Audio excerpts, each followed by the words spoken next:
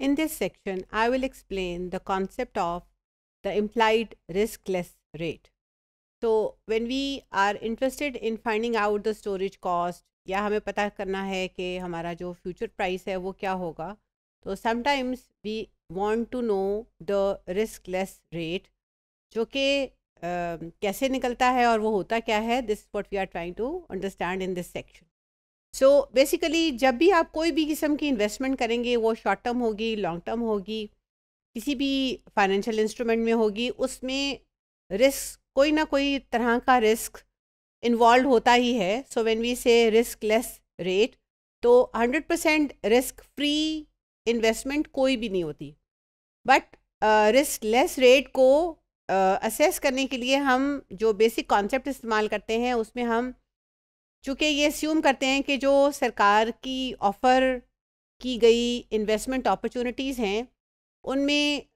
जो छोटे ड्यूरेशन के लिए आपको कोई भी इन्वेस्टमेंट के लिए वो आपको टूल्स ऑफ़र करते हैं, जैसे कि ट्राइगरी बिल्स है, जिनको हम टी बिल्स भी बोलते हैं। तो चूँकि हुकूमत का डिफ़ॉल्ट करने के चांसेस या प्रोबेबिलिटी बहुत कम है या ज़ीरो के बराबर होती है, इसलिए अगर वो टी बिल पे ऑफ़र करती है आपको सिक्स परसेंट थ्री मंथ्स के लिए नाइन्टी डेज़ के लिए या छः माह के लिए या नौ महीने के लिए आपको ट्रेजरी बिल ऑफ़र कर रही है और उसके ऊपर एक सर्टन रिस्क फ्री रिटर्न आपको ऑफ़र करती है। तो चूँकि उसके डिफ़ॉल्ट करने के चांसेस ना होने के बराबर होते हैं, इसलिए हम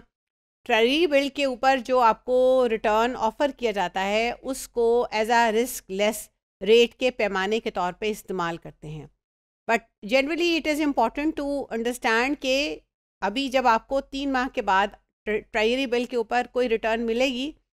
तो यू नीड टू सी के अभी इन्फ्लेशन की वजह से जो मुझे सिक्स परसेंट ऑफ़र हो रहा है, उस जो इन्फ्लेशन यानी कि ओवरऑल जनरल जो प्राइस लेवल है, उसके बढ़ जाने से ये जो सिक्स परसेंट है, ये वाकई सिक्स परसेंट मुझे फ़ायदा पहुँचने वाला है या इसका अगर मैं इन्फ्लेशन को अकाउंट फॉर करूँगा तो फिर क्या होगा? तो it is there for important कि जब आप इम्प्लाइड रिस्क लेस रेट को अंडरस्टैंड करने की कोशिश करें या उसको कैलकुलेट करें या एस्टिमेट करें या जो और लोगों ने एस्टिमेट किया होता है उसमें वो इन्फ्लेशन को yield from the treasury bond से या ट्रेजरी बिल से या जो भी आपने आ, सरकार ने कोई बॉन्ड्स इशू किए हुए हैं उनके यील्ड से आपने अपनी जो इन्फ्लेशन की जो रेट है उसको सब्ट्रैक्ट करना है ताकि आपको अंदाज़ा हो कि रियल टर्म्स में आपको क्या रेट मिलने वाला है रिस्क लेस किसी भी इन्वेस्टमेंट अपॉर्चुनिटी से। And that is considered as a um, as a tool or as a measure to uh, assess the risk less return. तो या रिस्क लेस रेट को हम इस तरह से अकाउंट फॉर करते हैं। नाउ um, जैसे मैंने अभी आपको बोला कि ट्रेजरी बिल्स जो हैं उनकी रिटर्न को हम अकाउंट फॉर करते हैं as the standard for the risk free assets जहाँ अगर आपने कैपिटल एसेट प्राइसिंग मॉडल की थी या जहाँ भी आपको आर एफ़ यानी कि रिस्क फ्री एसेट को अकाउंट फॉर करना है तो हम यूजुअली सरकार के इशू किए गए डिफरेंट तरह के फाइनेंशियल इंस्ट्रूमेंट्स के ऊपर जो रेट ऑफ़ रिटर्न होती है, उसको हमें अकाउंट फॉर करना पड़ता है। Another important thing which we need to understand is कि अगर आप अपनी इन्वेस्टमेंट की रिटर्न को असेस करना चाहते हैं और उसके लिए आपको रिस्क फ्री रिटर्न को कैलकुलेट करना है या उसकी, उसका अंदाज़ा लगाना है कि वो कितना होगा तो आपको वो ट्राइगरी बॉन्ड लेना पड़ेगा जिसके ड्यूरेशन आपकी इन्वेस्टमेंट की ड्यूरेशन से मैच करती है। So that is another important thing which is to be considered when we are trying to assess the value of the risk less rate कि वो कितना होगा। Next important thing which we need to understand is that when we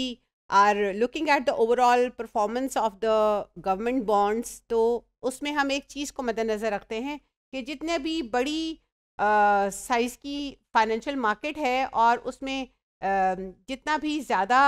transactions हो रहे हैं, सरकार की जानब से प्राइवेट सेक्टर की जानब से, उतना ही उस पर्टिकुलर फाइनेंशियल मार्केट को ज़्यादा मज़बूत और मुस्तहकम समझा जाता है।